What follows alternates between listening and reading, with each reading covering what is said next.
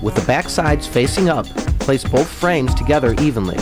With a magnetic head Phillips screwdriver and the provided screws, simply screw the frame connector to the center of both frames. Then once in place, you can bend our frame